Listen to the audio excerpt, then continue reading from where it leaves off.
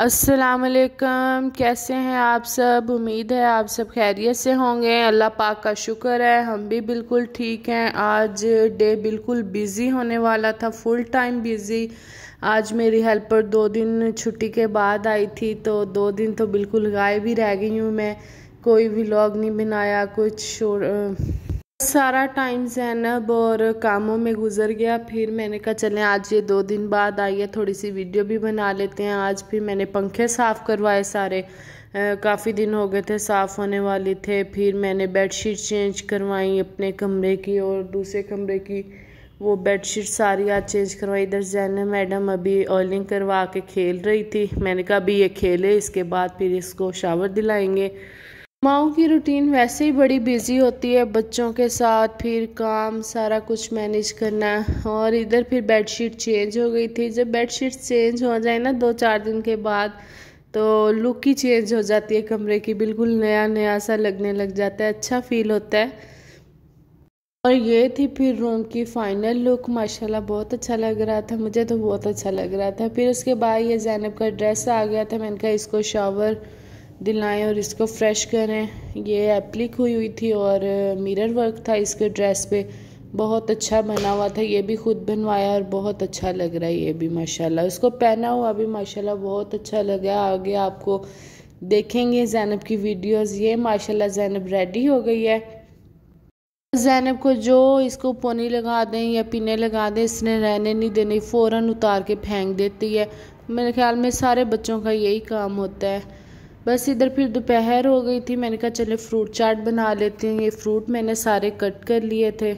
और इसके बाद ये ड्राई फ्रूट्स है, वो भी कट कर के साफ़ करके रख लिए थे मैंने। फ्रूट चाट में ना, ड्राई फ्रूट मुझे तो बहुत पसंद है। मैं अब जब भी बनाती हूँ ना, जब फ्रूट चाट तो इसमें मैं ये ड्राई फ्रूट्स डाल लेती हूँ। बहुत अच्छा टेस्ट आ जाता है, मज़े की लगती हैं। फिर इसमें मैंने हल्का सा बस वो चाट मसाला ऐड कर दिया था। उसके बाद फिर ये प्लेटें बन गई थी। इसके ऊपर फिर मैंने ड्राई फ्रूट्स वगैरह डाल दिए थे। बहुत टेस्टी बनी थी, माशाल्लाह। देखने में भी माशाल्लाह बड़ी कलरफुल सी लग रही है। इसमें सारे फ्रूट्स डाले हुए थे। इसके बाद ये फिर शाम का टाइम था। मैं जैनब को लेके बाहर आई थी। ये अंदर रह रह के भी ना ज़रा तंग हो जाती है। इधर फिर आज मैंने कपड़े धोए हुए थे। वो थे उतारने वाले। फिर और ये दाने धो के डाले हुए थे। इसको नीचे चूंटियाँ नज़र आ गई थी। बस उनसे डर रही थी इधर। तो फिर इसको सारे वो मैंने समेटे, कपड़े उतार के ले आई। फिर ये रात का टाइम हो गया था, फिर मैंने कहा, चले रात के खाने के साथ ना कुछ मीठा बना लेते हैं। इधर फिर मैंने दूध गरम किया और इसमें एक इलायची, नहीं, एक नहीं, दो डाल दी थी। इलायची डालें इसमें इसको अच्छी तरह पकाया। अक्सर खा, रात के खाने के बाद ना मीठे की क्रेविंग लाजमी होती है, कुछ ना कुछ मीठा हो खाने में। खाने के बाद जैनी के बाबा तो वैसे ही माशाल्लाह मीठे के बहुत शौकीन है। उनका होता है रोज़ कुछ ना कुछ मीठा बना हुआ हो। तो फिर ये कलरफुल सवैयाँ थी, मैंने कहा आज ये बना लेते हैं। बाकी काफ़ी चीज़ें तो मैंने पहले ही बना ली थी, अब ये रह गई थी, आज इनकी बारी थी। फिर मैंने ऐसे ही बहुत सारे लोग इसको बॉईल कर लेते हैं, कुछ ही इसी तरह डाल लेते हैं। मैं तो इसी तरह डाल रही थी। और फिर इसको काफ़ी देर मैंने पकाया है ये अच्छी तरह गल जाए ना, फिर इसमें हम कस्टर्ड ऐड कर देंगे। गर्मी तो अभी तक जान नहीं छोड़ रही है, इतनी ज़्यादा कभी हो जाती है, कभी मौसम ज़रा ठंडा हो जाता है, बारिश हो जाती है बस यही मौसम ठंडा गर्म होने की वजह से बच्चों की तबीयत ख़राब हो रही है। किसी को फ्लू, गला ख़राब, जैनब का भी एक दो दिन से हो रहा है, गला ख़राब और उसको फ्लू हुआ हुआ है। ज़ैनब के लिए आपने लाजमी दुआ करनी है, उसकी तबीयत ठीक हो जाए और इधर ज़ैनब की मस्तियाँ और इसके काम साथ साथ जा रही हैं। कभी फ्रिज को खोलती है, कभी बस वो बोतल लेके फिर रही थी उसके साथ। फिर मैं इसको कह रही थी, मैंने कहा, जैनब, चलो लाडी कर दो। ये फिर लाडी कर रही थी। लाडी करके अपने काम निकलवाए जाते हैं, फिर ये सारा पीछे इसी ने बोतल सारी निकाल के बाहर फेंक हुई थी ये इसी के काम है। और इधर अब ये सवैयाँ बन रही थी।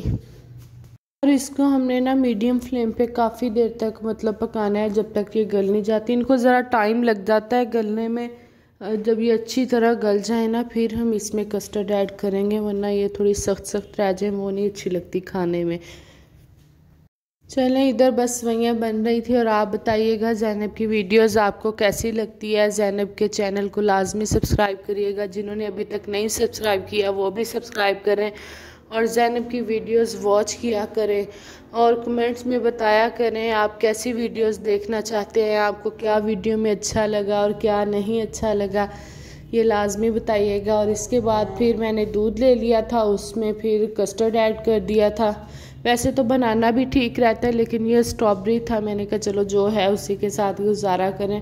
फिर ठंडे दूध में इसको मिक्स करके ना, बहुत ज़्यादा ठंडा ना हो, दरमियाना सा हो, उसमें फिर ठंडा करके वो मैंने मिक्स करके सॉरी वो डाल दिया था। फिर इसको अच्छे से मिक्स कर लिया था, और थोड़ी देर पकाने के बाद ये थोड़ा थिक हो जाए ना, बहुत ज़्यादा थिक नहीं इसको करना है, एक दफ़ा ऐसी मैंने बनाई, मैंने बहुत ज़्यादा थिक कर ली, वो अजीब सी कुछ बन गई थी। तो इसको नॉर्मल सा है। इसको ज़्यादा गाढ़ा नहीं करना, बस ज़रा पतला पतला हो। इधर जैनब की मस्तियाँ भी हो रही हैं। अपना बहुत सारा ख्याल रखिएगा। अल्लाह हाफिज़।